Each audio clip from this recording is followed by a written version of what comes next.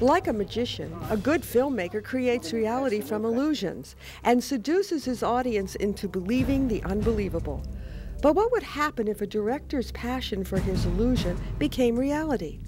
That premise was applied to F.W. Murnau's classic vampire masterpiece, Nosferatu, by screenwriter Steven Katz. About 10 or 11 years ago, I was very interested in Nosferatu, and I'd always been really interested in the fact that the film looks incredibly realistic to the point that you almost think you're watching a, an actual documentary about a vampire. So I got the idea of, of uh, what would happen if the actor who played a vampire in the movie was really a vampire. And the result is the Lionsgate film, Shadow of the Vampire. Filmmakers have always been attracted to do films about filmmaking. Um, this is a very good one for that. The job of recreating Murnau's rodent-faced Count Orlok was a role that was written expressly for Academy Award nominee Willem Dafoe. I used to see him at the Performing Garage in New York, and he was the one I wanted to play the vampire.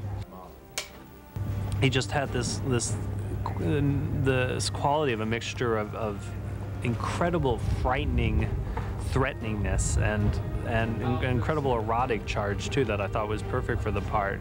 It's a great character. It's it's great melodrama. It has a great sweep.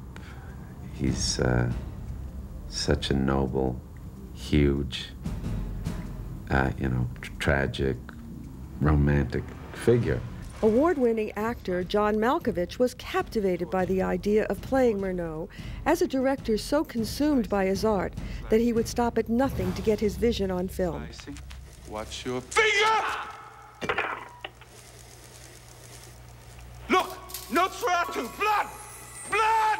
I think it is very original. Uh, I liked the script uh, immediately upon reading it, and I committed to do it immediately. Action. The idea that Murnau cast a real vampire as the star of Nosferatu completely captured the imagination and creative spirit of Shadow of the Vampire director Elias Merhige. What was really amazing about the script, what was really exciting about it, is that the script was telling a story that was deconstructing the mythology behind the making of Nosferatu. How dare you destroy my photographer! You idiot! Did I kill some of your people, Murnau? I can't remember. Why him, you monster? Why not the script girl? the script girl. I'll eat her later. No, you will not. To achieve his goal, uh, he will do anything.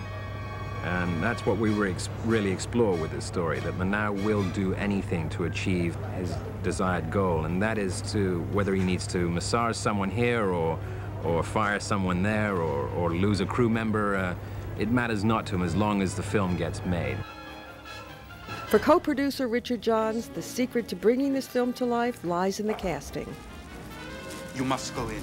John really is the only actor who could really passionately, believably bring this off. You want to eat the writer? Be my guest.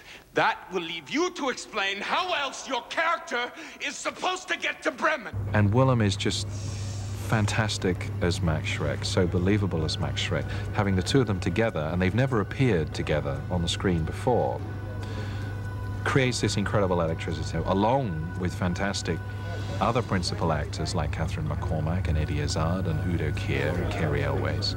Um, it's a tremendous ensemble cast. We have most of these actors throughout most of our film because we're telling the story of Murnau's crew and his producer and his writer and his stars.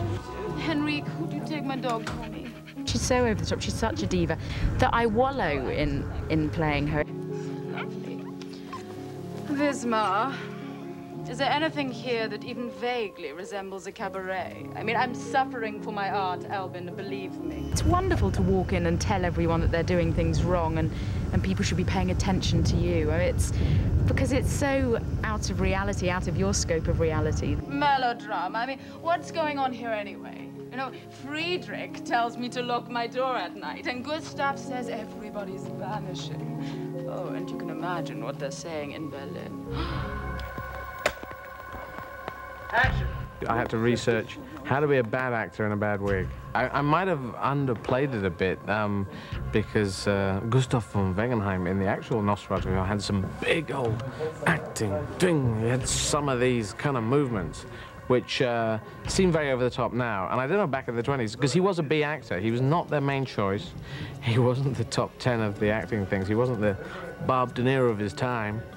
And, uh, and no one goes, oh, let's go and see a Gustav von Wangenheim film. God, let's put that old film. What is he in? Whenever you do a movie, it's an adventure. It's a group of people working for this common goal.